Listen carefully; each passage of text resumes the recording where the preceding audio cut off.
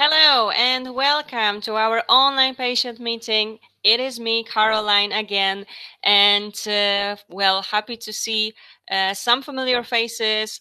And uh, Dr. Vladimiro, hi, how are you feeling today? I'm fine, thank you. Hi, Caroline. Thanks for having hi. me. It's a pleasure to be here sharing our experience with everybody. Happy to have you as well. And please let, let us know that you can hear us uh, loud and clear so we can make sure. Thank you. Someone is typing. So all is good, I believe. So mm-hmm. uh, let me just quickly remind you that we are here simply because we want to make sure that you will have a chance to ask your question to top experts since we are at this point cannot proceed with any of the treatments. Uh, it is your time to get connected with some of the best doctors, but also get to know uh, different options, get to know some different doctors from various clinics in different countries. And today uh, we are having another topic to uh, talk about, to discuss, which is, uh, of course, important. And the Stronger Together initiative is also possible and brought to you thanks to our ambassador ambassadors and partners. So again, I would like to thank them for their support and you can see them all right here on the screen. Uh, so huge thanks to all of them. Without them as well, it wouldn't be possible. Uh, so let me go to our topic today.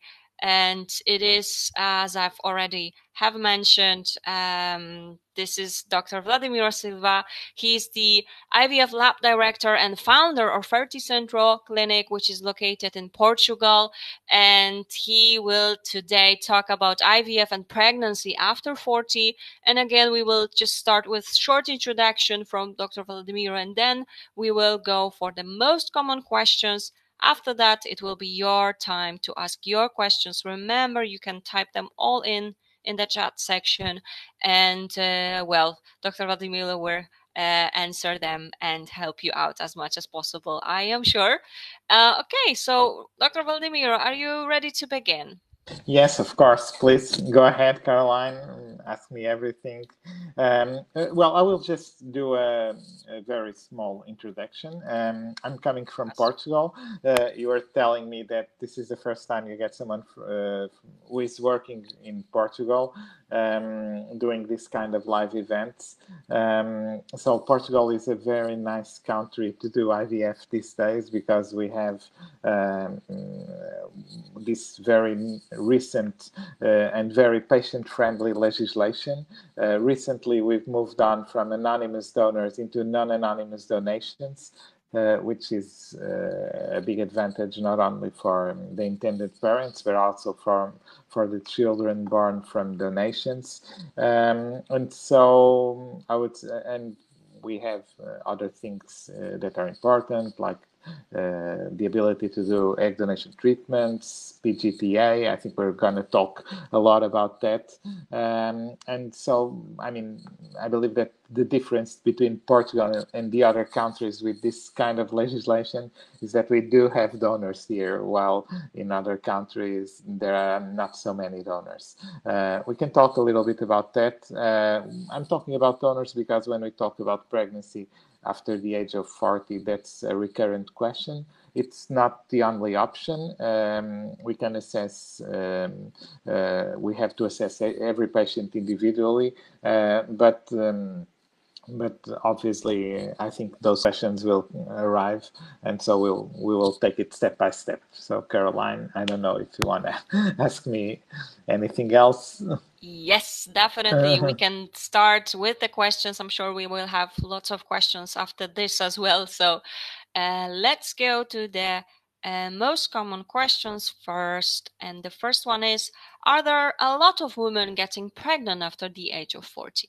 Uh, the answer is yes. Uh, actually, it is very interesting because um, before doing this presentation, I did some research exactly on those numbers. And it is very uh, curious to see that uh, while uh, a few years ago, uh, we, I mean, in in in the in the 60s uh, we already had a lot of patients getting pregnant uh, after the age of 40 but uh, and now we are um, the number of of people getting pregnant after the age of 40 is more or less the same number of patients who are getting pregnant after the age of 40 uh, in the 60s and the 50s. And uh, it seems like a contradiction, but it is not. The problem, the difference is that in the 60s, uh, people were getting pregnant at the age of 40, but they were having like their fourth, their third, their fifth, their sixth kid. Uh, here, the, nowadays, the difference is that patients are getting their first kid after the age of 40. This is a consequence, a consequence of our lifestyle uh, these days for professional reasons, for personal reasons everybody is delaying pregnancy and sometimes it is not rare that we see a 48 year old patient getting to the clinic and saying i want I've finally met someone with whom I'm prepared to have a kid. Um, and so, uh, I mean, uh, she's 48, so it's very complicated. Um, so, um, it's a reality of our lifestyle of our times. Uh, the difference when when we are comparing the current situation with what happened a few years ago is that now it's time to have the first baby after the 40, while uh, a few years ago a lot of people were having her fourth, fifth kid uh, after the, the the age of 40, and without medical help. okay Perfect. Thank you so much for answering this uh, question and giving us uh, some details. Uh, sorry, uh, Caroline, there's here a question from Joanne uh, Brownlow. Yes, uh, we will get to it, okay? Ah, so don't okay, worry, okay. I will be showing all the questions uh, okay, right after this. Yeah, thank okay, you. that's perfect. I'll let you guide the... Um... No problem. Okay. Let's go to the next question that we have. What's the best option after 40 then, Oonex or egg donation? Well, it depends. Um, first of all, we have to think, uh, mm, we, ha we have to assess every case individually. Uh, if you ask me what's the, the less risky option, it is clear that egg donation uh, has le uh, is less risky because uh, the, the age-related genetic risk depends on the age of the egg. And so if we're having uh, an IVF treatment with a, the egg of a 25-year-old woman, we're having the same risks that we have at the age of 25. if, while if we are having uh, uh, treatment with your own eggs at the age of 42, uh, it will be the risks at 42 which are significantly higher. obviously, the risk is of uh, is is what we call we have two types of risk. We're talking about the genetic risk, meaning the risk of having an egg with a chromosomal abnormality, and then we have the obstetric risks, um, which are always there regardless of whether we're trying with Oonex or egg donation. So between Oonex and egg donations, egg donation is certainly less risky. However, trying with Oonex can also be safe, especially if we use, for example, uh, pre-implantation genetic testing.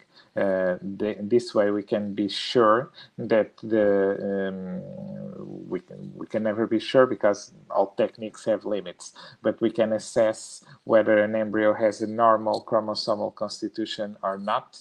Um, we nowadays we're using next generation sequencing which is a technique at the blastocyst stage uh, which is a technique very uh, that allows us great levels of accuracy um, and so we, at the end of the day, we, we can uh, re respond to the patients with a very small margin of errors of error whether their embryos are viable or not. If they are uh, viable, chances of having a chromosomal abnormality are not null, null because in medicine we don't talk about zero, but they are certainly very little. So uh, transferring a normal, what we call a euploid embryo, uh, to um, to obtain from a woman after the age of 40 yields more or less the same pregnancy rate, a little, mm, uh, almost the same pregnancy rate as transferring a, a, donated egg. So, if the ovaries of the patients are still working, if the patient wants to try to, and to do the pre-implantation genetic testing, it's certainly a way uh, of making sure that the treatment is safe, that uh, that the risk of having a baby with uh, with a chromosomal abnormality will be lower. Hello, Caroline. Yes, I am here. Thank okay. you so much uh, for answering the next our next question, and let's get to here. Can PGTA really make a difference? Well, uh, uh, it is not. Uh, it's a hard question. Normally, I would say that um, uh, normally uh, I was actually this afternoon I was talking to a patient um, from France and she asked me the exact same question. Uh, my answer was no, um, and I will explain. Um, no, because the embryo would still be the same. Okay, so PGTA is about getting information. So if the embryo is a good embryo, uh, it will always be a good embryo. If the embryo is an, uh, a bad embryo, meaning if it carries some genetic abnormality, some chromosomal abnormality, um, we can do PGTA, but the embryo, we cannot transform a bad embryo into a good one. Okay, so uh, PGTA uh, will give us information, and in that sense, it does make a difference because it is very important in terms of making a decision. It, uh, it's very important to make sure whether we're transferring viable embryos or not. However, PGTA doesn't change the genetic status of the embryo. Okay, and that's very important because sometimes patients come to us and say, let's do a PGTA so we can be sure we will have a viable embryo to transfer into the womb. It's not like that. Uh, sometimes all of the embryos are genetically abnormal or have chromosomal abnormalities. Uh, so um, PGTA is very important to inform us about embryo quality, and it is also very important to help patients deciding whether they should try and, and resort to egg donations or whether it's worth to keep trying with their own eggs. Also, PGTA plays a very important role um, in another kind of situations. For example, uh, this was a, another case from yesterday.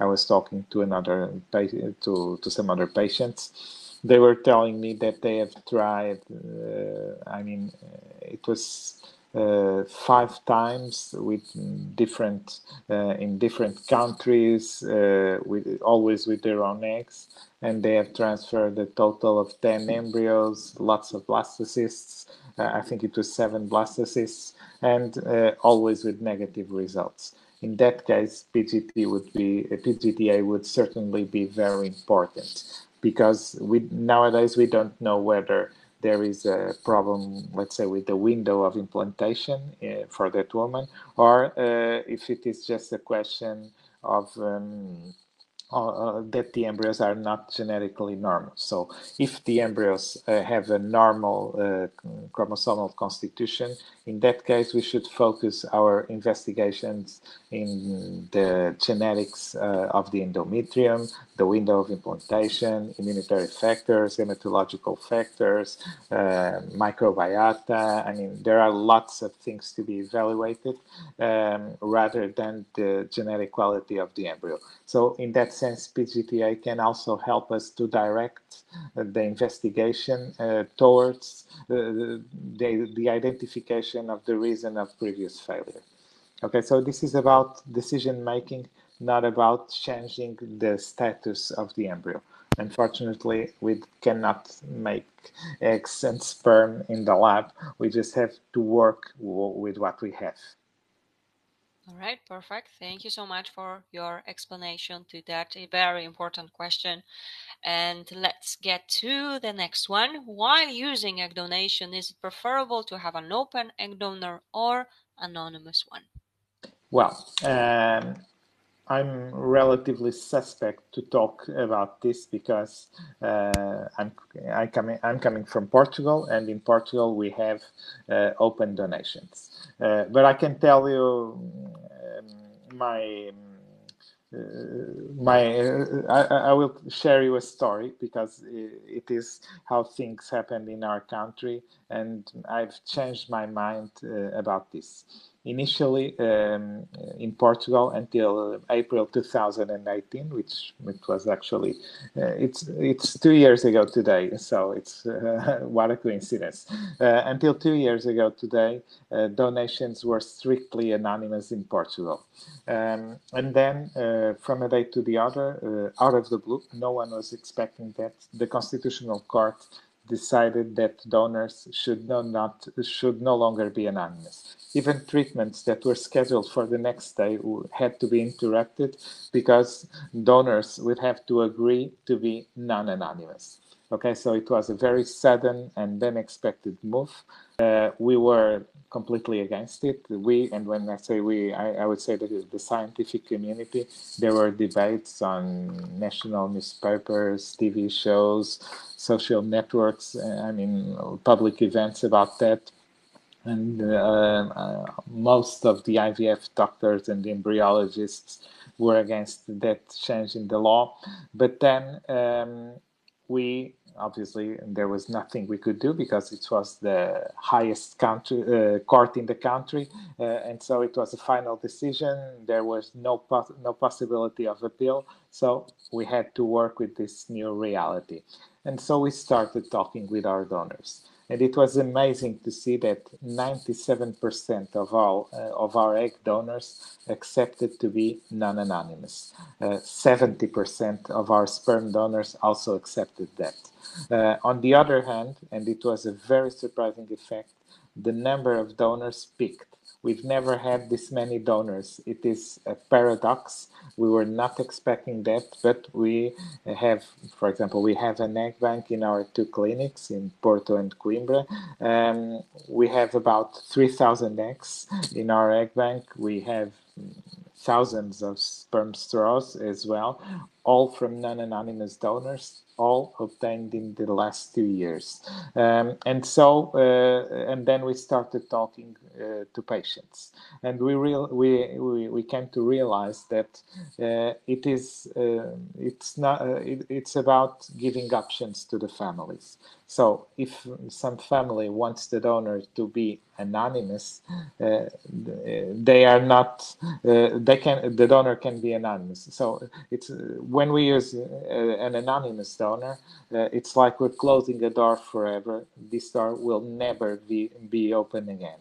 Um, when we're using an open donor, it's a door uh, that's still closed. But at the age of 18, uh, the the child uh, born from the donation will have the right to request information on the, the ID of the donor to the national IVF authorities. So this gives a lot of options to the families, a lot of options uh, to, to the children born.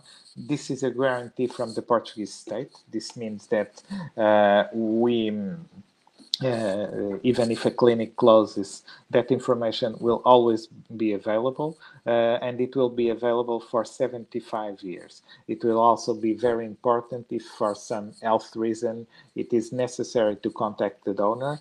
Um, and so, uh, if the child at the age of 18 he doesn't want to meet his donor or her donor, uh, he or she could change his mind, and and um, and at the age of 40 she can get access to that information. So um, uh, I think it is more about having options. So I'm definitely in favor of open donors because um, it's up to the families and and especially to the children born from the donations to decide what they want for their future, what they want to do with their life. And so uh, it's their decision. It's not up to us, up to the doctors, up to the intended parents to, to put uh, conditions on that. Obviously, uh, it, it's the families uh, who have the power to decide. If someone says, I don't even want to tell my kid uh, that he he was born from sperm donation. Okay,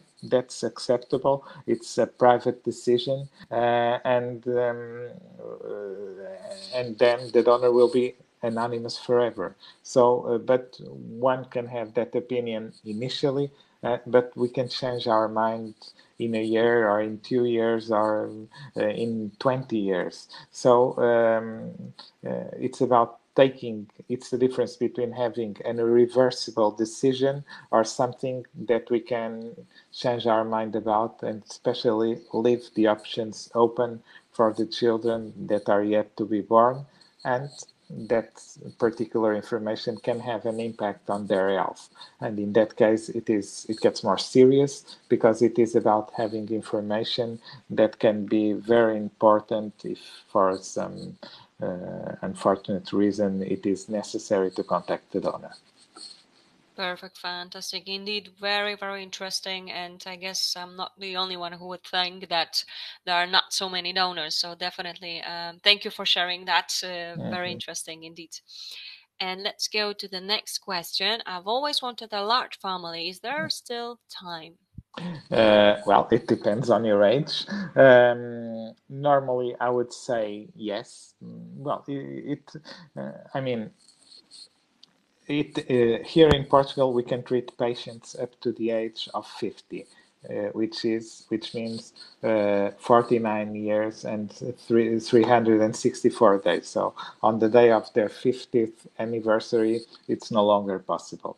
Uh, however, uh, even when a patient reaches the age of 50, we have the right to transfer the embryos created in the 12 months before that barrier. So uh, if that's the case, uh, we we can still transfer frozen embryos uh, after that age, uh, at least in the first 12 months after the creation of the embryos. Um, uh, normally, uh, we get that question a lot because some patients, let's say they are 42, they want a large family, uh, egg donation is certainly the best option. There are solutions where we can create, obviously, um, typically in an egg donation cycle, we get a lot of embryos, like five or six. And, I mean, our average number of embryos is certainly in an egg donation cycle, it's certainly around four or five embryos. Uh, so that will give a, a, immediately a, a, large chance of having a, a big family and also there's a possibility of banking the eggs from the same donor. So if the donor agrees to donate again, if we have more eggs from her, we can save those eggs for for further for um, for further attempts. And in that case, uh, we have patients having uh, at Ferticentro, we have a patient who had four kids with us, uh, all of them after the age of 45, I believe, if I'm not mistaken. So, um, obviously through egg donation and none, uh, and in four different pregnancies okay so um, it's uh, it happens. Uh, we can have a lot of kids. Um, in, I mean, it was one twin pregnancy and two single pregnancies. There was it. But but just to to let you know, uh, in that case, especially when we are working with egg donation, that possibility still exists. Um, obviously, if we are trying with the patient's own eggs after the age of 40, it's very unlikely that we get a lot of eggs or a lot of good quality embryos that allow the patients to have a, a, large family. But I mean, we can try, uh, we can try as much as we can, but in that case, egg donation, or, or in some cases, patients have their first child with their own eggs and then they try with egg donation um, and so most of the in most of the cases there's still time perfect. Thank you so much again for mm-hmm. answering this question providing all the details as well. And so are there solutions for single women and lesbian couples? Uh, of course, I'm very happy to talk about this subject as well because um, here in Portugal we have um, and like I said in the beginning, uh, a very patient-friendly legislation. Uh, single women and lesbian couples are allowed to, to do IVF treatments. Um, and so, uh, in the case of single women, uh, we can even we can use donor sperm, sperm or double donation if they are um, if they require that.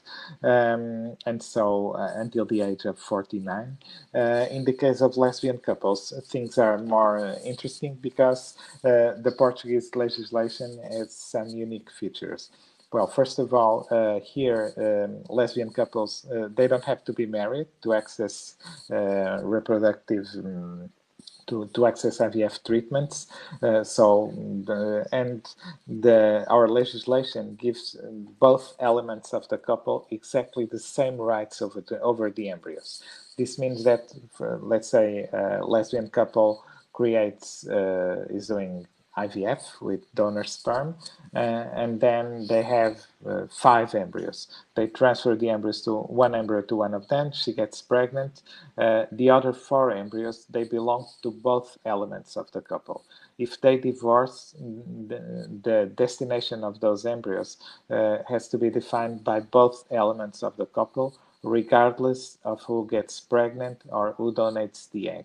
Uh, okay, so um, regardless of whose DNA is that, uh, they both have the exact same rights over the embryos, like it happens in a with an heterosexual couple. So this is truly a shared project for lesbian couples, and obviously we can have the reciprocal IVF or shared motherhood or ROPA method technique that allows one of the um, one of the ladies to be pregnant with her partner's eggs. Uh, so once we have the embryos from this couple, they can either be transferred to one or another uh, person in the couple, uh, and our legislation previews that exactly and allows, uh, and we have specific uh, informed consent forms for that.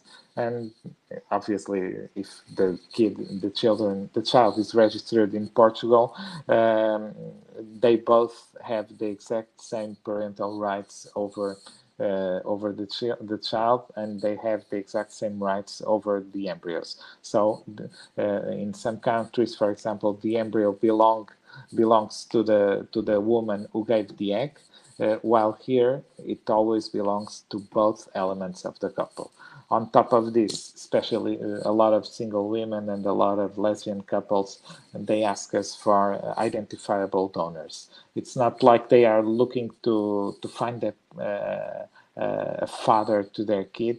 It's just because uh, it is pretty obvious for the children that uh, for the child that he or she were born from donation, um, and so they want to give them the possibility of having access to the ID of the donor. Uh, that's very important for most of them. Uh, I would. It's very. It's actually very rare that one of these single women or lesbian couples requests us to use uh, anonymous donors. Um, but uh, so um, I think there are plenty of solutions, uh, and nowadays with our I would say, very modern legislation. Uh, we everything is very uh, they are very protected in terms of their legal rights over the embryos and also uh, on her parental rights. Perfect. Thank you again for answering all those questions. That was actually our uh, last question from those common ones. So, therefore, we will go ahead with uh, your questions. Just let me remind you that if you would like to find out something, this is your chance to ask Dr. Vladimir. So, go ahead and type in your question. And let's go to the very first question that we have. You saw it already. Uh, so, are there a lot of women getting pregnant after 50? Uh, unfortunately, not. Um, we the legislation in Portugal changed uh, regarding female age changed in the beginning of 2018. So back then we were accepting uh, patients until the age of 52. Um, and we had a lot of, I mean, the, uh, from a biological point of view, um, the, the odds of having a pregnancy stays the same regardless as long as the uterus is okay. Um, so um, it will be it would be biologically possible the obstetric risks will increase. Okay, that's uh, that's for sure. However, if a patient with a good pregnancy follow-up, with a uh, patient taking good care of herself, following very strictly the directions of the gynecologist, uh, I think that uh, that will be um, that would be possible and safe. Right now, due to our legislation constraint, the only cases where we can get women getting pregnant after the age of 50 will be in those cases where the embryos are created before and they are within the 12 month period that we have to transfer those embryos. Uh, and for, so, unfortunately for Joanne, the answer uh, will be not in Portugal. There are some countries, though, where that could be possible. Mm-hmm, thank you. And actually, uh, there was a follow up, but you have already mentioned that law has changed. Yes, it was 52. And that's why here's the question Do you think the age will be increased? Uh, well, the that 52 limit was uh, the limit that we used in our own clinic. Uh, oh, was, okay. There was no formal limit in the law. Um, I know that there are countries like uh, in some clinics in Spain, they accept patients older than that. Uh, in Cyprus, uh, in the United States, um, but those countries that don't have a formal limit, normally each clinic has its own limit. But generally speaking, Euro, in European uh, in the European countries, I would say that 50 is usually the, the most common limitation. Thank you okay. for clarifying that. And uh, let's go to the next question. So, to prevent poor quality of eggs, do you suggest freezing earlier than the age of 30? Um, yes, well, it will depend, but uh, the general response would be yes. So nowadays, it is very important to stress that the um, uh, since the in the beginning of 2013 the American Society for Reproductive Medicine issued a practice committee report stating that egg freezing should no longer be considered as an experimental procedure, but could be routinely offered to patients since it was, since it was safe, and the pregnancy rates and um, live births that we were getting from eggs from younger women were very similar to those obtained with fresh eggs, obviously, as long as we've mastered the vitrification techniques. Uh, so uh, now, uh, at our, I mean, worldwide, there are several vitrification techniques that work very well. Uh, we're getting um, survival rates above 90% for frozen eggs. So it's definitely a solution. So uh, we, uh, I, I'm a strong advocate for uh, for for social egg freezing because I think that's certainly a way to to, to preserve fertility in women. Obviously, uh, we have to bear in mind that uh, in the best case scenario, those eggs will not be used, will never be used. Okay, so every woman should try to get pregnant as early as possible with her own eggs uh, and naturally, um, and using her fresh eggs if preferable. Those eggs, uh, those frozen eggs, are there just as, as a backup should uh, infertility comes later in her life should the need to resource to a, an egg donor comes uh, comes up. So i mean uh, those eggs are for women to use as if they were their own egg donors okay? Because if they collect their eggs at the age of 25 and then at 45 they are trying to have a baby those eggs will still be there. Those eggs will have in principle uh, the same properties that they had 20 years before. And so um, she will be it's like she will be her own egg donor. So uh, yeah, there i think it is important if someone uh, has not a, a, perspective of having the right partner or or um, for I mean economical reasons. I mean there there are lots of things that can happen in life these days, uh, um, and they cannot move on with a pregnancy. Uh, I I do think that egg freezing is a very good solution, especially nowadays with such good uh, odds of survival. Obviously, when we're talking about a 90% survival chance, we're also talking about 10% non-survival chance. So most of these eggs will not be, uh, a lot of these eggs will not be viable. And so this is why we should uh, use them as a last resource uh, should they be needed. Okay. Thank you so much again for yeah. the details to this. Uh, very interesting, very important as well for many, many women. Thanks so much. Yeah. Let's go to the next question. Uh, for egg donation in your country, do you have eggs from tall blonde women? I am six foot blonde with green eyes, and my husband is asking this question because he wants our child to have some of these features from me. Uh, of course. Uh, I mean, um, uh, I, I, don't know if you have ever been to Portugal, but uh, well, uh, we have to acknowledge that the typical Portuguese person is not that tall, uh, and we're not a country known to have tall blonde women. Okay, uh, however, we do have donors from all phenotypes. For example, in our clinic, we have donors uh, with six six foot, so uh, that's that's not a problem. Um, but uh, I mean, while we have Uh, if we're talking about uh, uh, we we use uh, in Portugal we use the metric system. So I will uh, say it in meters. if we're looking for a one meter sixty donor, which would be something like five five feet uh, five feet three or five three or something like that, uh, we will certainly have a lot uh, of available donors, a lot more donors. But we do have tall blonde women. But especially, and this is the the most important information, uh, when patients ask us for a donor. We always give them the donor characteristics beforehand. So the patient has to accept that donor.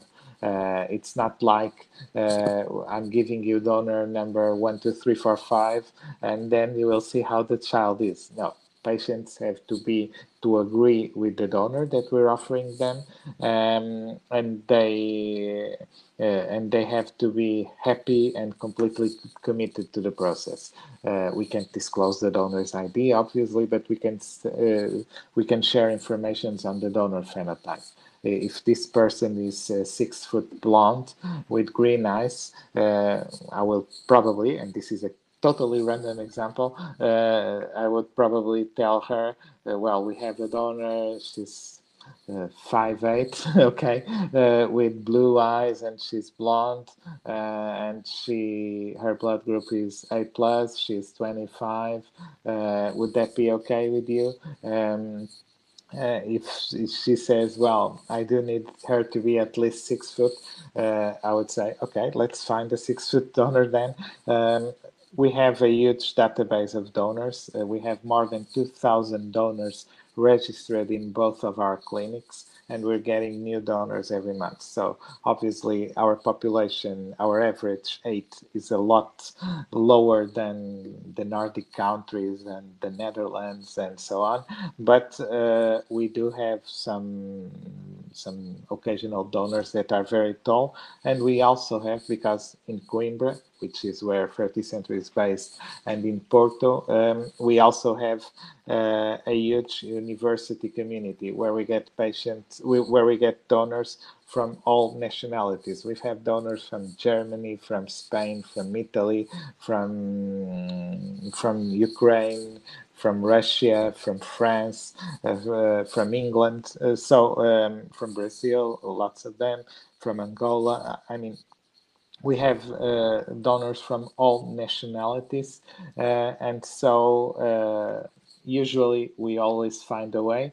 Obviously, I'm not gonna lie, we don't have uh, as many six feet donor uh, donors as we have for normal uh, Portuguese size donors.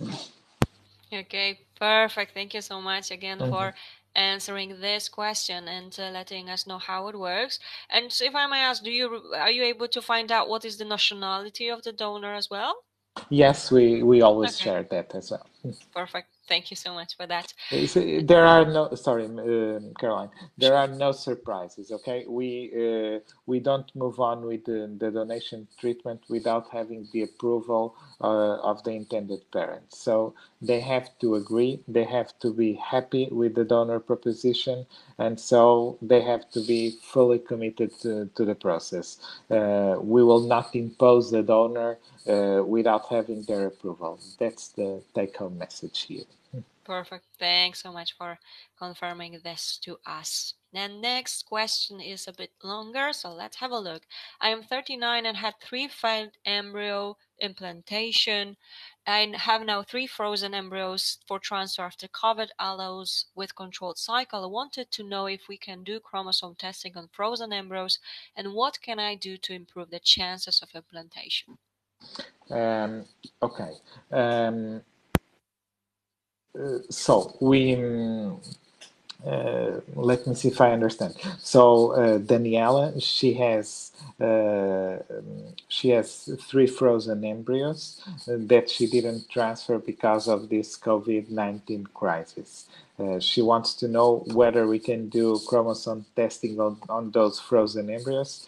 Uh, the answer is yes. Okay, uh, even if they are frozen at the blastocyst stage, we can warm those embryos. We can do the chromosomal testing, and then we have to refreeze the embryos and transfer them light. Uh, we, we have done that several times. Uh, there are uh, with babies born, so uh, yes, it is still possible obviously it is not the ideal okay we prefer to buy to do the embryo biopsy which is the step required for the chromosomal testing before freezing the embryos for the first time but this is not something unusual. Uh, we have done that a lot and uh, and and with success. So that's definitely something that we can do. And what can she do to improve the chances of implantation? Um, well, in this case, uh, I will. There are many options. Uh, the first step would be to know to check whether the embryos are genetically viable or not. If the embryos uh, have a normal chromosomal constitution, uh, that's the first step. Th those would be great news. And then we would focus on the endometrium because if she already had three failed embryo transfers, so we need to know uh, where is the problem. If the problem is not the embryos, because I mean, if the, some of these three uh, is vi are viable, uh, this probably means that some of the previously transferred embryos were also viable. And so in this case, we should focus our investigation in the endometrium. Normally, we say that uh, while studying for implanta uh, implantation failures, while uh, searching the causes for implantation failures, we always uh, check for several factors gynecological factors like fibroids, like uterine abnormalities, uh, malformations, etc.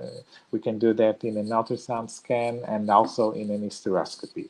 Then we can check the window of implantation, which is a very important factor, and I'm sure some other speakers have addressed this in in some in some of the other communications. Um, uh, the window of implantation has become more and more important these days. We know that after five days of progesterone, the endometrium is ready to receive a day five embryo. However, in some patients, uh, after five days of progesterone, the endometrium is still not ready, or the other way around, uh, the endometrium is no longer ready. But by doing a biopsy after five days of an endometrial biopsy, after five days of progesterone, we can test. Uh, there are several tests like the ERA test, the ERA map. There are several tests in the market.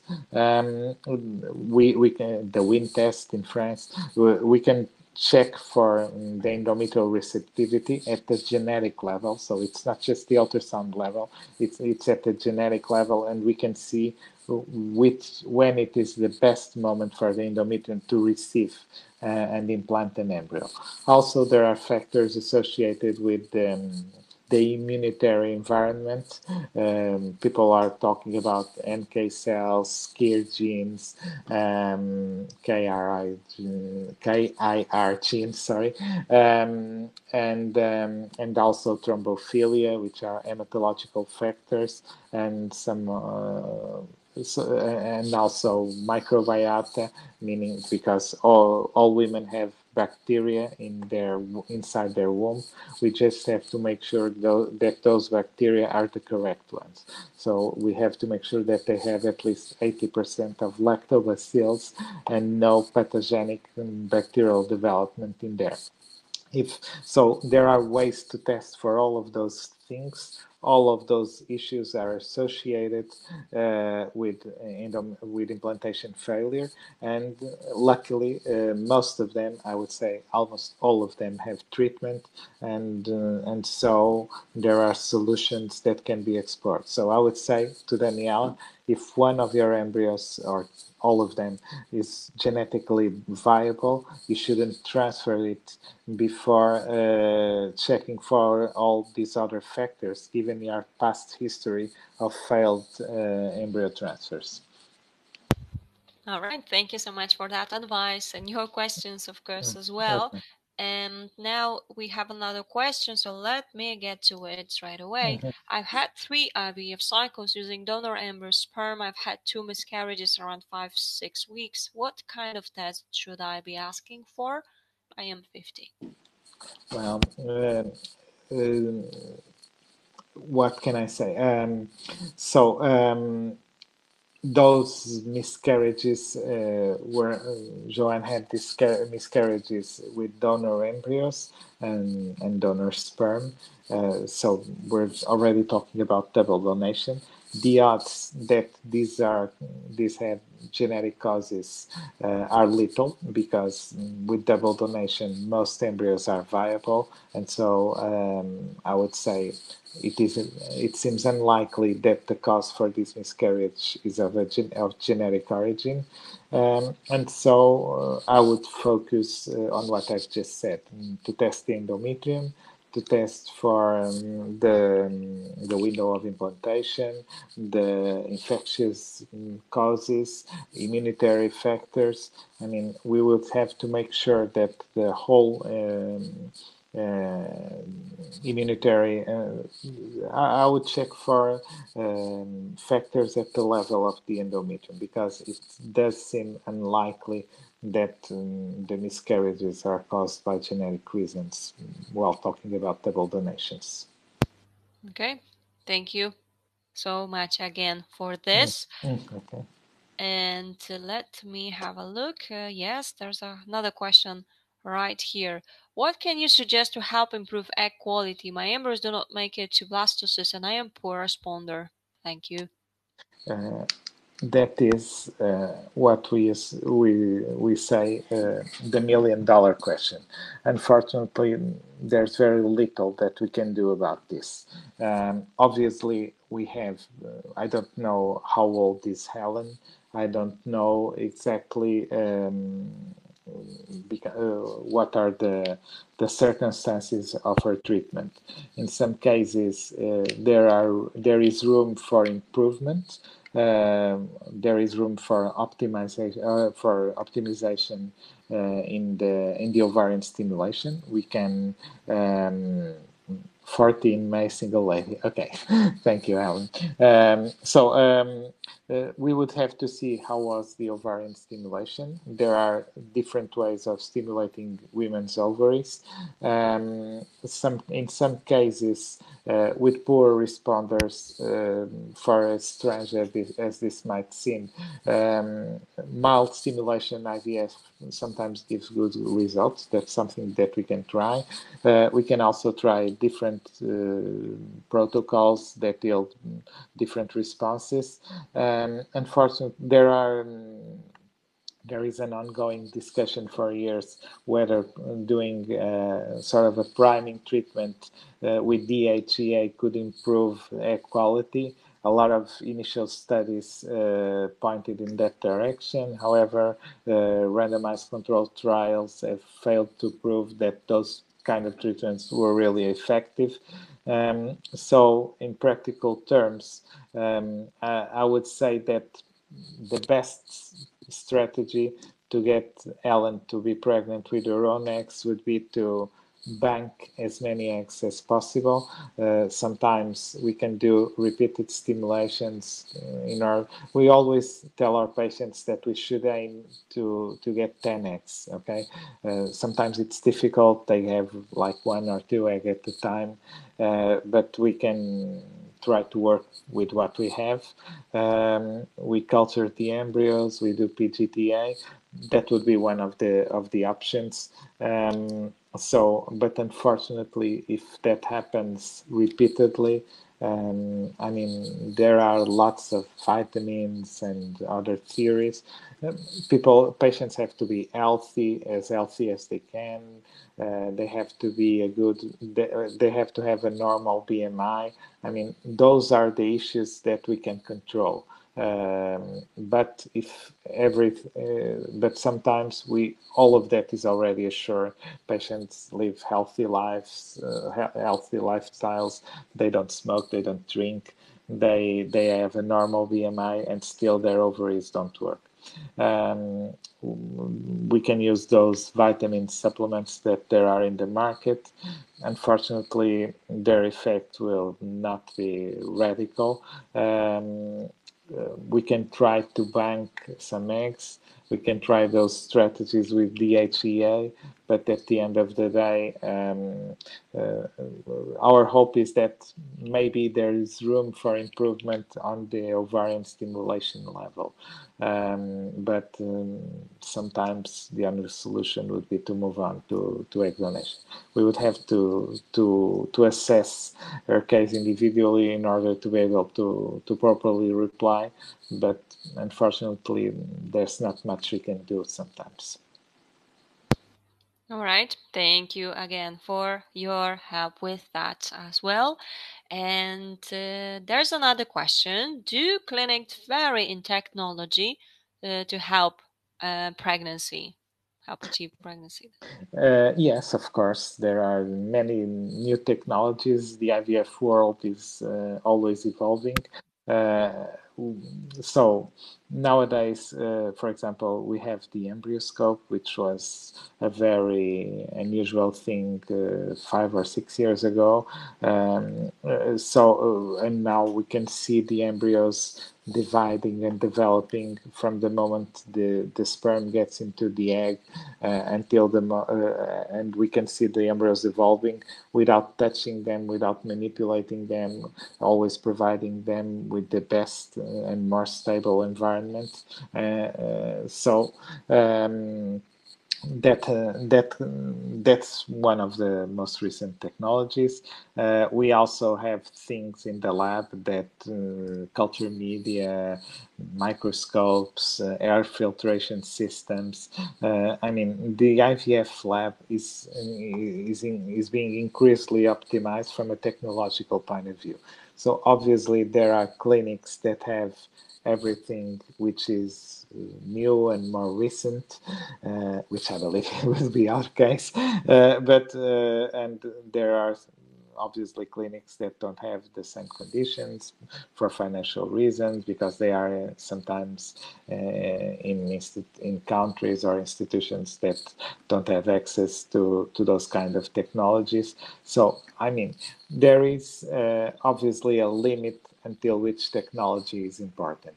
Uh, if you ask every doctor or embryologist, he will certainly tell you that he would prefer to uh, to all of the state-of-the-art technology. Uh, there's no question about that.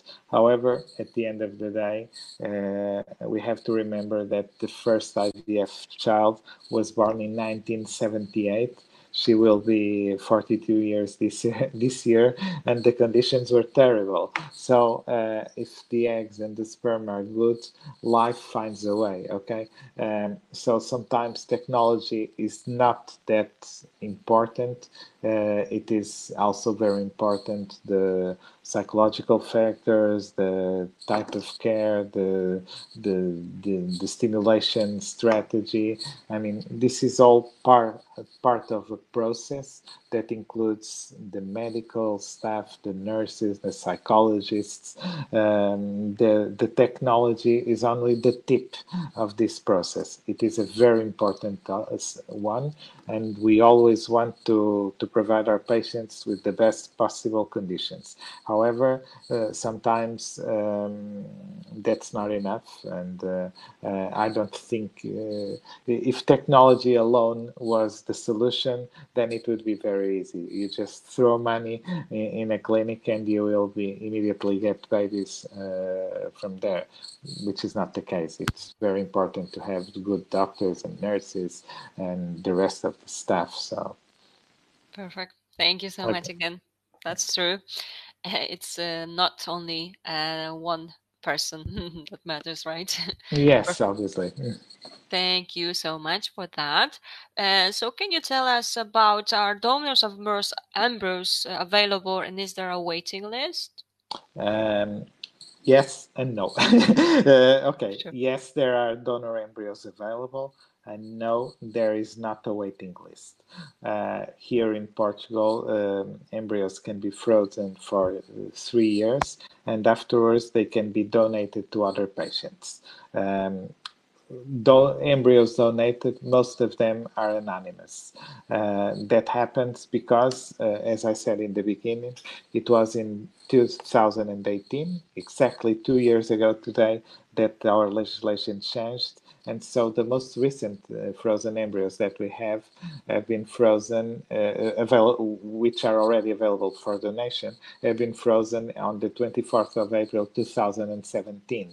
So uh, back then, the law uh, still required the anonymity of the donors. So uh, there are embryos available for donation, but they are from anonymous donors. Uh, and uh, there is no waiting list at the moment. But if you asked me that very same question a year ago, uh, I would say that there was a waiting list. Okay, this changes a lot. There are there is a lot of demand on those uh, donated embryos. Uh, obviously, we can we try to to assign them to our patients uh, as fast as possible. Um, but uh, as of today, we have uh, available embryos from all phenotypes mm. that have been donated by other patients. Perfect. Thank you so much again mm-hmm. for this. And can you give us tips on how to choose a clinic for the first time? I am 42.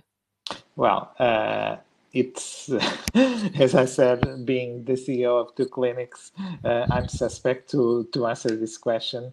Um, but um, what I always tell uh, patients is this: uh, nowadays, most of the clinics are doing uh, an excellent job. Okay, we have great, great clinics everywhere.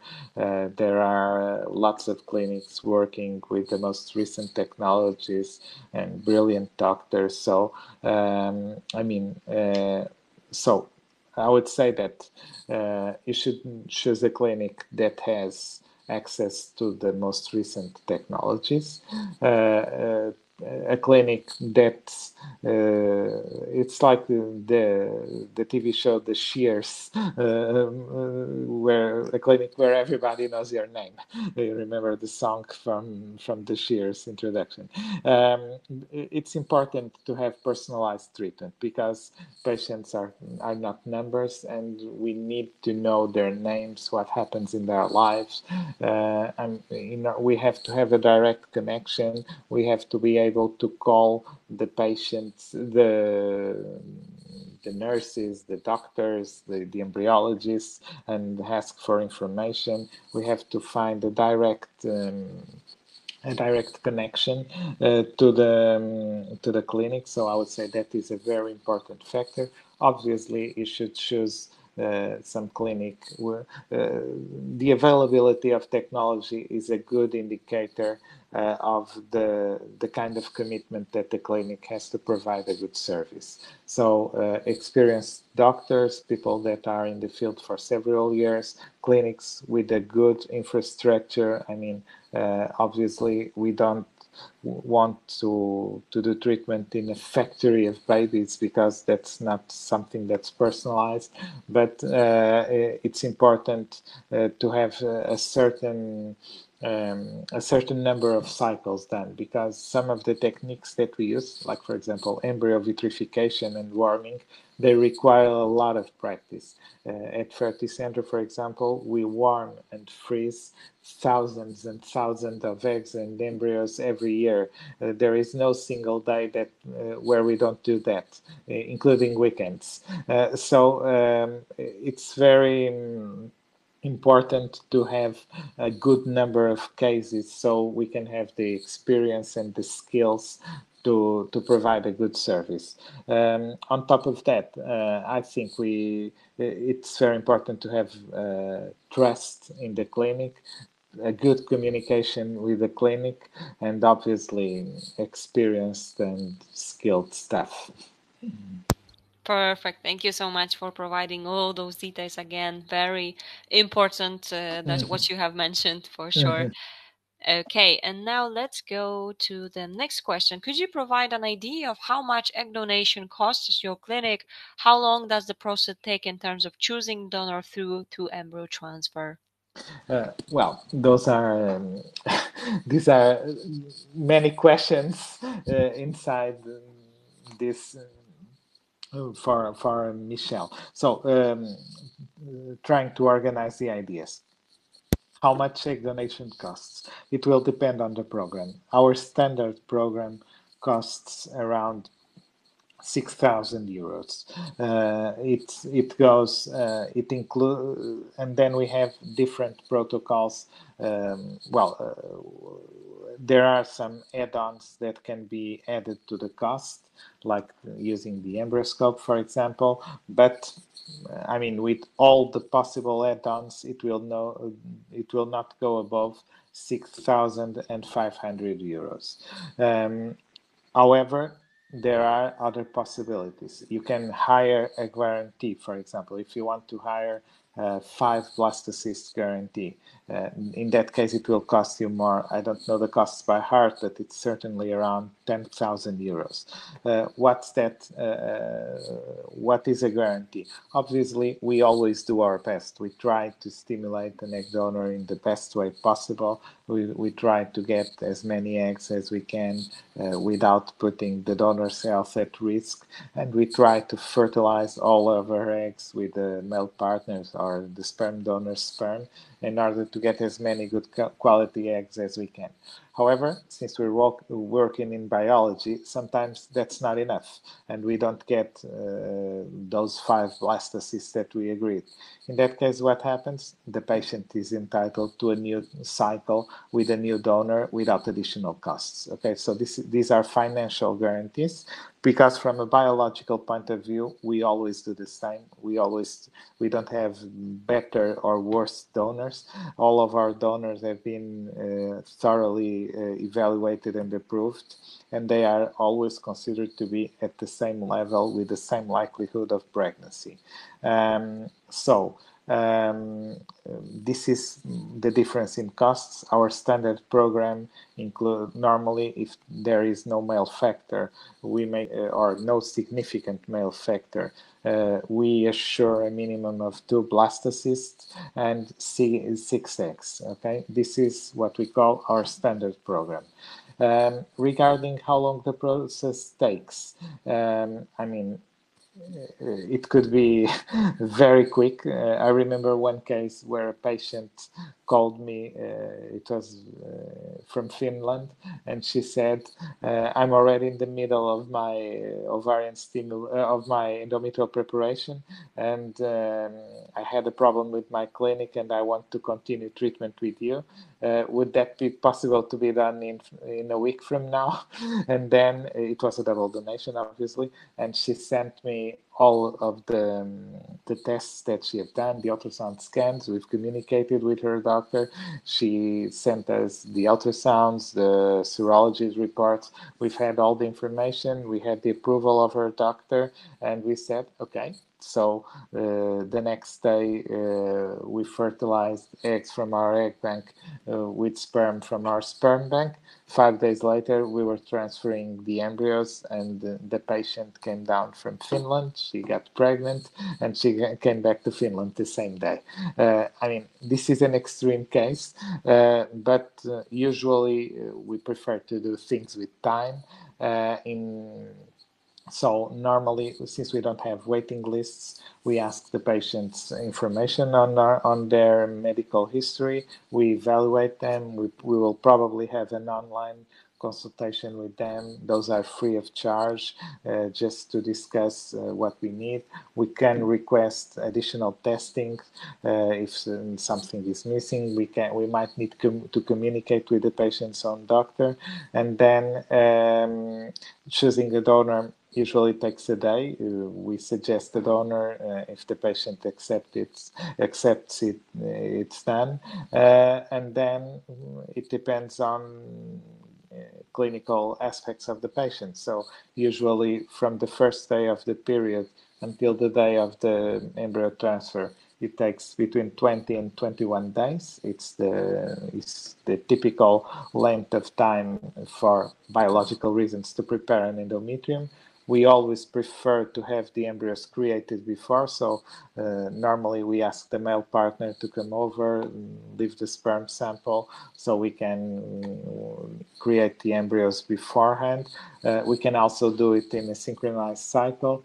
The difference between um, uh, what we call a deferred cycle or a freeze-all cycle and a synchronized cycle would be the uncertainty because uh, if there's some problem with the donor, if she makes a mistake, if she doesn't produce enough quality eggs and so on, we can always uh, move to another donor, obviously with the patient's approval. While if we're doing a synchronized cycle, we have to wait for the egg pickup to see how many eggs we're going to get, and every day will be uh, we will have new information. So uh, it's impossible to predict uh, what would be the quality of the embryos five days or six days later.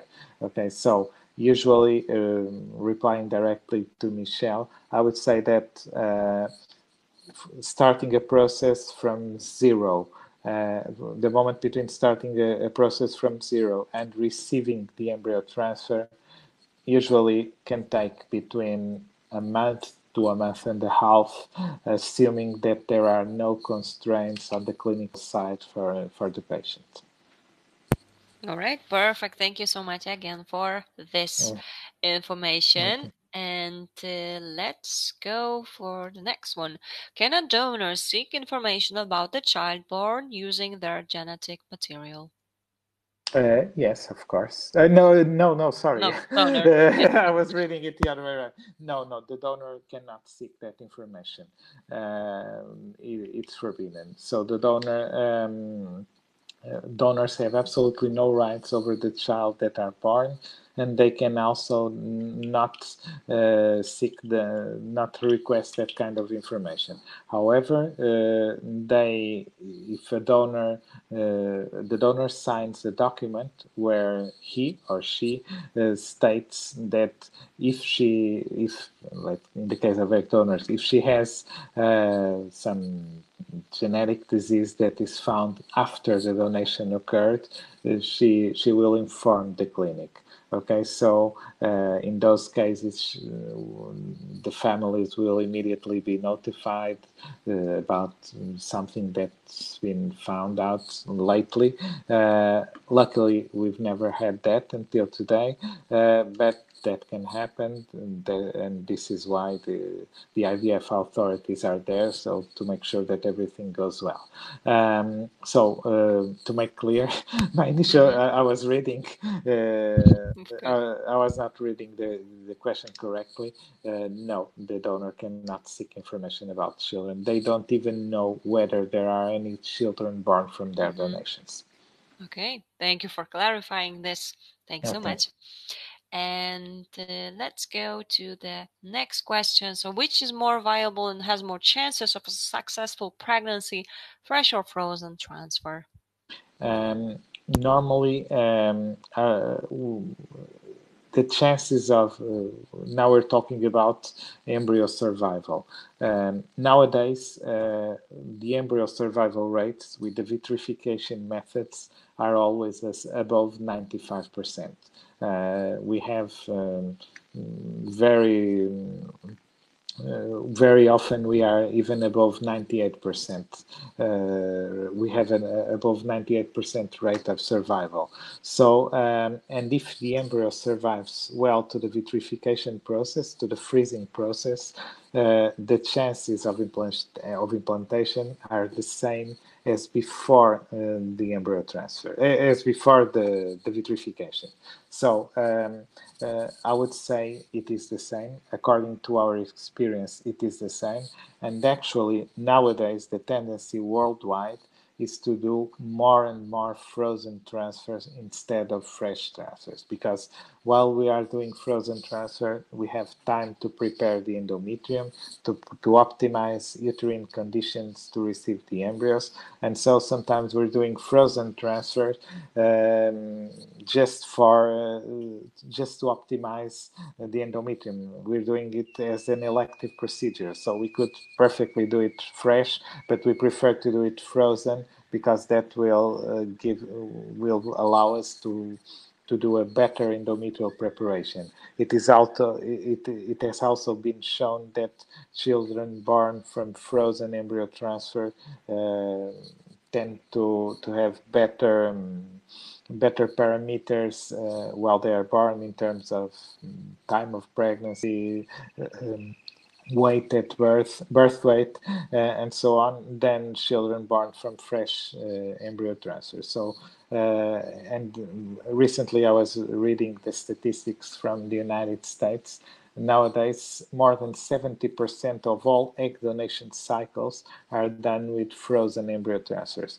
Uh, the reason why everybody is doing this is because not only it takes a lot of uncertainty from the process, but also because this allows us to optimize the endometrium. So, uh, in order to respond to Kyra, I would definitely prefer to do frozen embryo transfers uh, rather than than fresh ones. Uh, but um, the uh, uh it is a personal opinion. Probably some other clinics will think otherwise. I don't know. But uh, the tendency worldwide is uh, towards frozen embryo transfers. Okay. Thank you so much for uh, sharing this information with us. Definitely interesting as well. And next question is Can I use a member of my family as a donor? Unfortunately, not because even though no donors are not anonymous, uh, they they are anonymous for the parents. The only person that has the right to get access to the donor's ID is the child born from the donation. Okay, so Unfortunately, that's not possible. Okay, thank you for clearing this up. And this is about the donors. And you said you have donors from France. Does this include Martinique or Guadeloupe, the French islands? Uh, Actually, we don't have donors from Martinique or Guadeloupe at this very moment. Uh, mm-hmm. we do have a lot of patients from Martinique uh, or Guadeloupe, um, and uh, and we do have donors that match those characteristics because here in Portugal uh, we have a, a, population of people coming from Brazil, uh, people coming from Cape Verde. Uh, so there, I always tell patients that we were uh, probably the first country, uh, we were the first country starting globalization uh, 500 years ago. So uh, this is why we have so many phenotypes in our egg bank and sperm bank. Uh, in Portugal, we have direct relationships with lots of countries. Well, in South America, Brazil, obviously. Uh, in in Africa, countries such as Cape Verde, Angola, Mozambique, and so on. And from those countries, uh, even India, we we have uh, people with some characteristics that can be used in that are more typical in Martinique or Guadeloupe. Uh, we do have a lot of patients from those islands. All right, perfect. Thank you so much. Mm-hmm. And there's a question about so you have also donated embryos of other phenotypes, not only Caucasian? Obviously, obviously, uh, we do. We even have Asian phenotype donors available. Uh, mm-hmm. Not that many, but um, we have black donors, white donors, mixed race donors. There's absolutely no problem. Okay, perfect. Thank you so much for yeah. clarifying that to us as well. Yeah. Next question is AF, AFC is 8, AMH is over 8. Can we freeze on day 3 to be able to bank? Uh, okay, I, I, think Helen was asking this uh, as a follow up information on her previous question. Yes. Uh, uh okay, so um, this uh, I I'm assuming that these AMH units are picomole per liter. Uh, otherwise, it would be fantastic uh, if it was nanograms per milliliter. Um, but um, AFC of eight is, I mean, probably a sign of. Um, it's okay. We we've had pregnancies with a lot worse than that. Um, normally, uh, we can normally not normally here in Portugal we cannot bank embryos. We can freeze eggs and accumulate eggs and then free, uh, fertilize all the frozen uh, and fresh eggs at the same time but we cannot create embryos. Uh, again, uh, we cannot accumulate embryos before uh, transferring them into the womb. So what we would advise in this case would be to freeze the eggs and then move on with fertilization later. This, this would also be a lot cheaper because for every time we create uh, an embryo, it is a new ICSI procedure, while uh, freezing eggs and then doing one ICSI procedure will be significantly less expensive. Okay, perfect. Thank you again for answering this question. We will be slowly finishing, although we have like few questions left. Uh, so if you if you have any questions, this would be like a final call. So go ahead and type them in, and uh, let's go to the next question. My periods are changing in length and schedule. They are getting shorter, lighter, and farther apart. I am 45. Can I still do the egg donation? I had a natural birth at 36. Um, I mean, we would have to evaluate the, the ovarian reserve of Connie in order to see um, whether she's still producing uh, her eggs are still her ovaries are still working or not. Um, so um, those signs uh, are not good okay? Um, the, this is those are probably signs the fact that her periods are changing in length and getting shorter lighter and further apart. Those are probably signs of um, ovarian insufficiency coming on. Um, so um, i would say to connie you need to to move on as soon as quickly as possible. Uh, I would definitely uh, recommend that you do an ovarian reserve assessment, uh, which includes the AMH hormone, FSH. Um, and those would be the, the two most and antral follicle count obviously uh, so we can have an idea whether it is still possible to stimulate you or not uh, I would say that if FSH is below than 10, it would be great. Uh, if uh, AMH is above 0.5 uh, nanograms per milliliter, it will also be uh, good. And in that case, we can still do an ovarian stimulation. But we definitely shouldn't waste time and um, yesterday was better than today and it would be worse than tomorrow. I mean, we're now running against time, so it's certainly advisable to to put things in motion as soon as possible.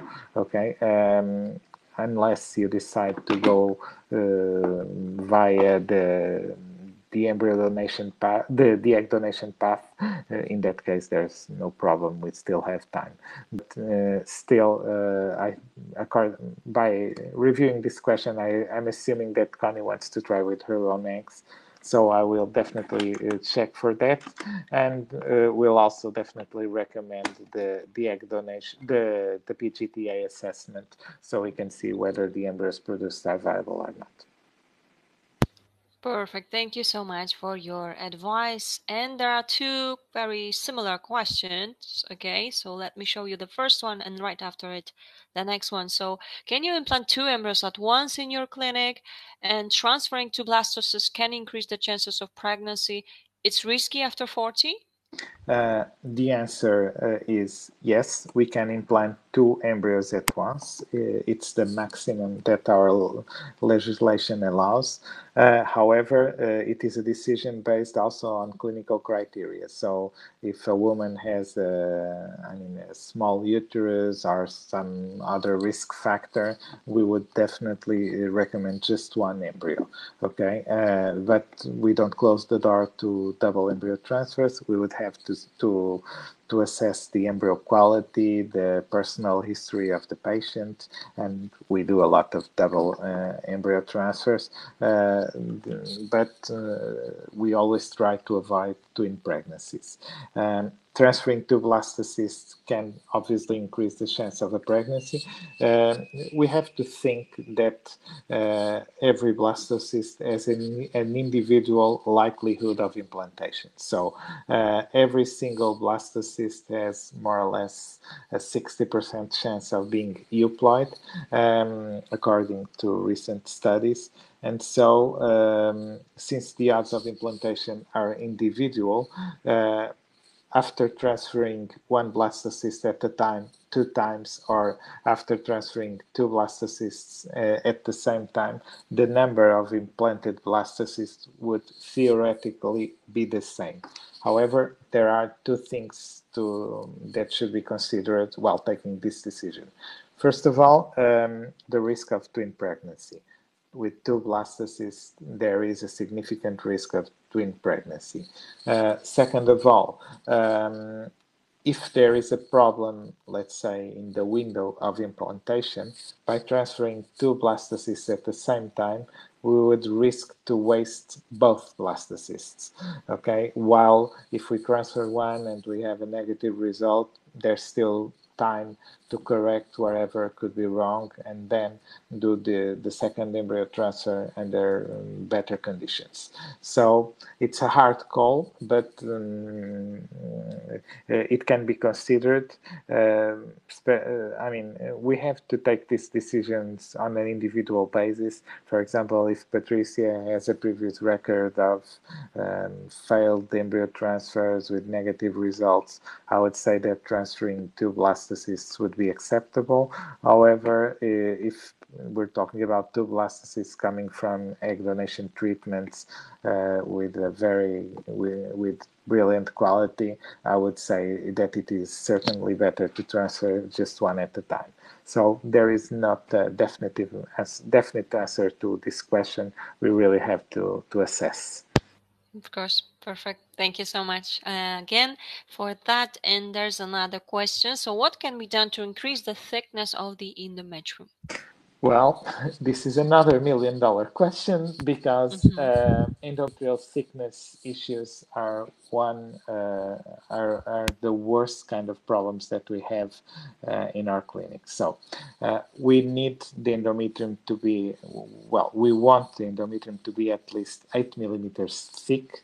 If it is seven, we're already relatively happy because um, with seven millimeters the result the results are already very acceptable if it is less than seven um, chances tend to to low to drop significantly um, what can we do to increase the thickness of the endometrium there are several protocols.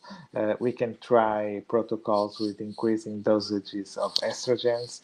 Then we will also have to balance that with the risk of side effects.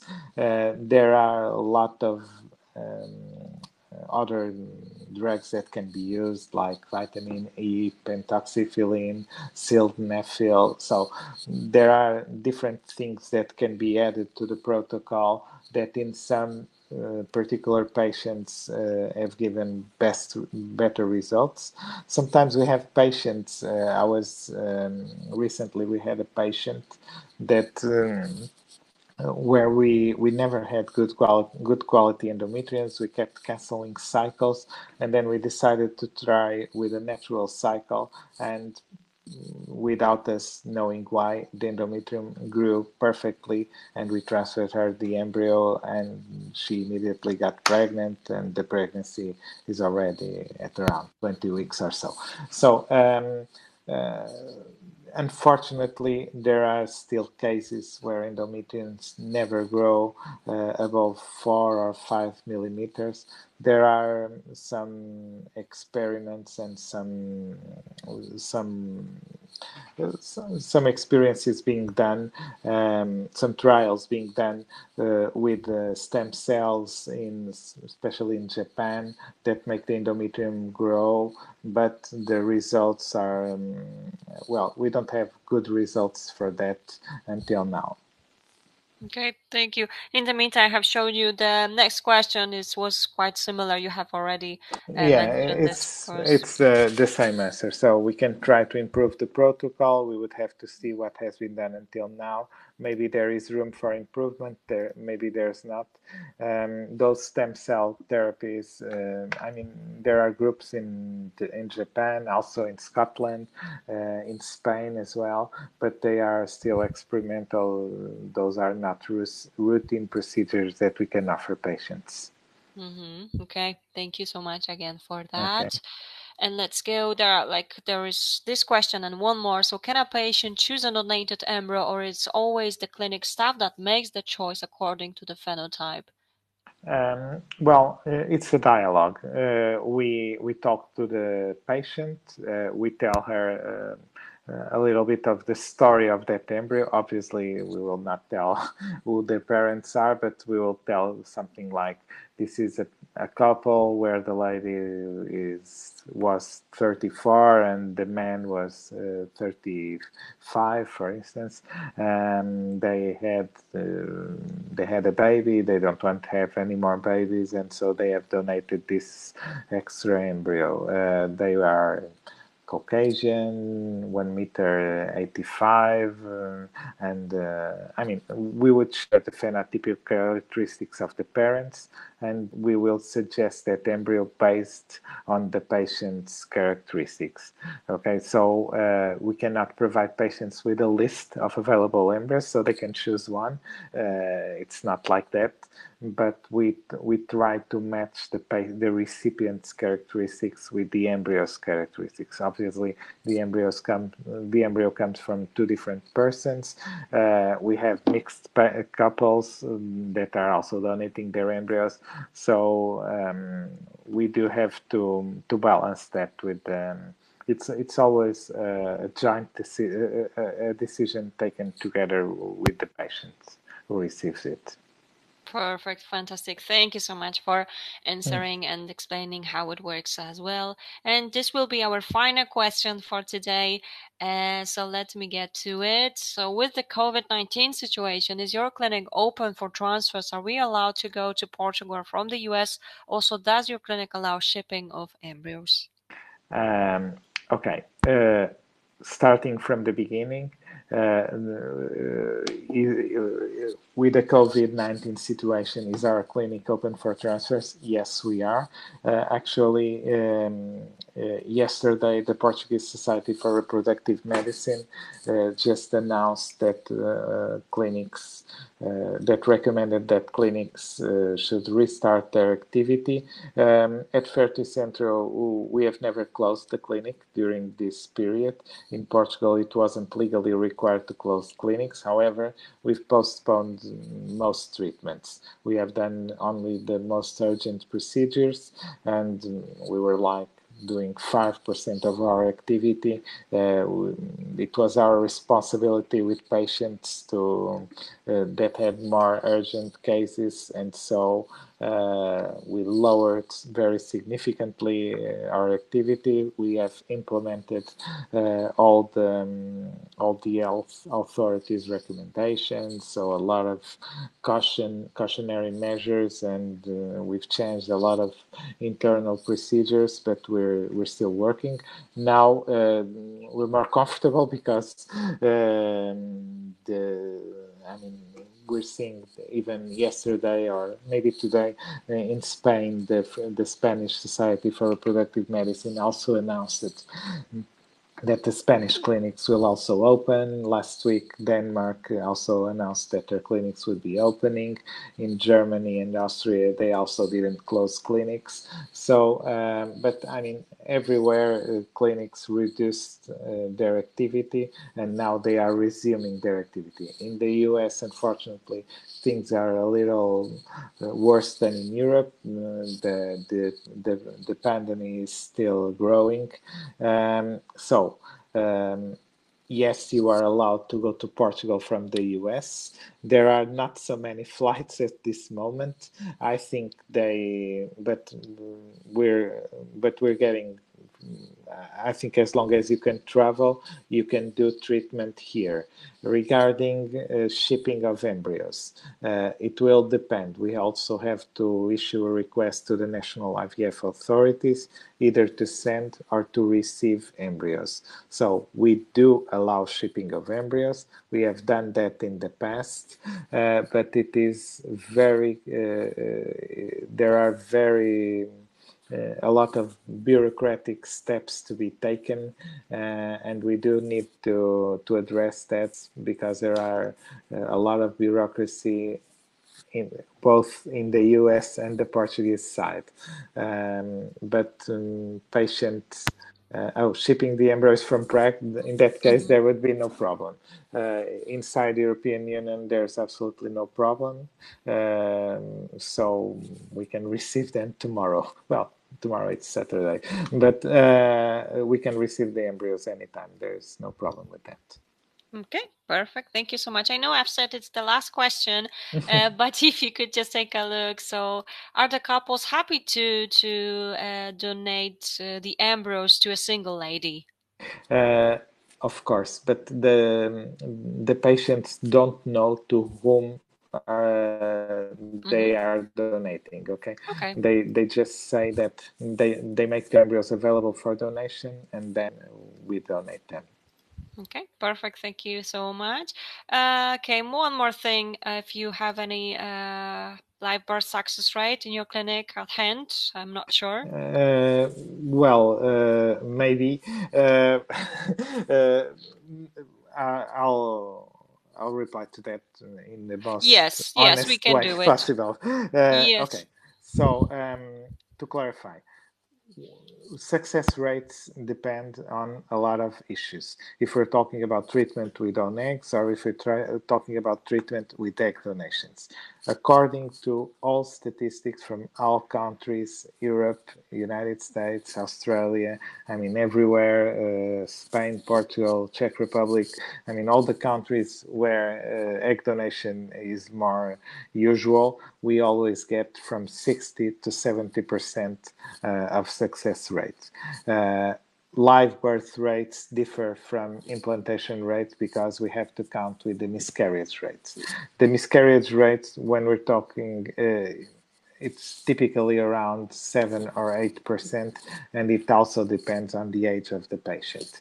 So, um, this this is the limit of the biology. These are obviously we can isolate groups of patients where we have 80% of pregnancy rate, and also groups of patients where we have five or 10% of uh, of live birth rates. So uh, I, I, would rather talk uh, with patients individually. Um, recently, we've one uh, one patients association did a survey uh, just to confirm the success rates between their members in our clinic and out of 300 cycles or so uh, we've had 71% but it was lucky, okay, because we know that 71% is above the average. What we can expect is something between 60 and 70. It changes according to patient's conditions, treatment conditions, whether there's an L factor or not. Um, and so this is of little value. Obviously, if we're transferring two blastocysts to all patients, we will get a better pregnancy rate, uh, but also a lot of complications for our patients. So um, I would say that we have, uh, when we are thinking about success rates, we have to start thinking about biology, and biology gives us 60 to 70. Uh, nowadays, if a clinic has a certain level of experience and activity, I would say around 1,000 cycles a year. Uh, I would say mm, embryologists and doctors working for more than 10 years in the field. Uh, I would say uh, having the embryoscope or another time lapse technology, perfect lab conditions, uh, working with the best culture media, the best vitrification techniques, uh, then every clinic uh, will be around this these pregnancy rates. Uh, there is a lot of public, publicity around that, um, but we know because that's what the official statistics say. Worldwide, everybody's getting the same pregnancy rates without little little variations. Okay, so uh, when we talk about pregnancy with own eggs, um, I was this week I was actually reviewing a statistic uh, it will depend. After the age of 42, it's certainly uh, below 5% or uh, something around that. Um, now we're getting also um, very unusual cases because uh, with single women and lesbian couples, we have a lot of patients who are not infertile, meaning that they have never tried to have a baby and they are trying for the first time at a later age. And so um, they are generally better prognosis patients that lift the pregnancy rates up. Uh, so uh, we do need to know the ovarian reserve. I prefer to reply to that to this question based on ovarian reserve, age, uterine conditions, and previous history, so we, we can give an honest preview to the to the patient. Because success rates can come uh, from many factors, and there are many confounding factors. I always give this example. I know that this intervention is probably taking too long. Uh, if we have uh, 10 embryos uh, on day one, and only two of them are viable, but we don't know that. Uh, we will, if we will have a 20% pregnancy rate. If we culture those embryos until day three, maybe we are able under the, the embryoscope to identify that uh, four or five of them are not good. And so maybe on day three, we have only, let's say, six embryos, uh, and two of them are still viable. So chances have risen from 20 to 33%. If we further culture those embryos until day five, maybe we have four blastocysts. And so it's two out of four, and we have 50%. But they are always still the very same embryos, okay? So we are playing with statistics. With the same, the exact same embryos, we can move from 20, from a 20% pregnancy rate into a 50% pregnancy rate, okay? So it's very easy to trick statistics and we also know that we, if we play with accumulated pregnancy rates, after three blastocyst transfers, uh, each one giving 60%, if this is just math mathematics, we will get a 90% accumulated pregnancy rate, uh, a 93% accumulated pregnancy rate. So, um, I mean, uh, and still it's it's also a 60% pregnancy rate uh, per embryo transfer but a 90 percent 93% accumulated pregnancy rate so um, uh, we we have to be careful while looking at statistics yes. and we do need to to to think that we're working with biology. And biology gives us 60 to 70 percent. Unfortunately uh, as of today we don't get more than that Okay, perfect. Thank you so much. Definitely on point. Uh, this is a very tricky um, situation with success rate. So thank you so much for answering this uh, question. And we will be finishing for today. And there are also uh, plenty of thank yous, uh, Dr. Vladimiro. It has yeah. been a pleasure to have you here. You have been excellent, and this is not only uh, my uh, my I would say um, feeling. Okay, fantastic okay. webinar. I love your idea, open dollars in Portugal.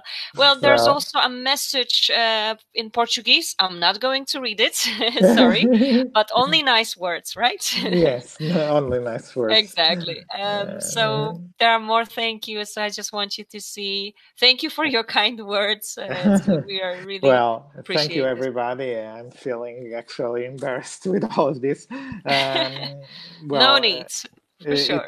It, it, was it was really nice to be here and uh, to to reply to all of these questions. Uh, I mean, I don't know if if any of these persons wants to write me directly. I will be very happy to reply to them and talk to them on the phone please feel free to do so.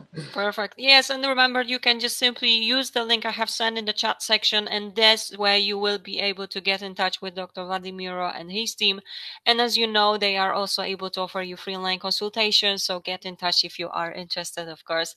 And well, more of those. So thank you so much again. Uh, I I know that we will have another uh, possibility to, and also another webinar with Dr. Uh, Vladimiro already soon. so so I'm very happy and looking uh, forward to this. Uh, again, huge thanks, and just let me remind everyone that we are not done yet for today. We have another uh, event very very soon at 8 p.m. UK time. So stay tuned with us, and I hope to see you at but also a huge thank you to to all of you for joining our uh, event tonight. Well, it has been great. Thank you so much, and have a lovely, lovely evening as well. Bye bye. Thank you. Bye. Bye.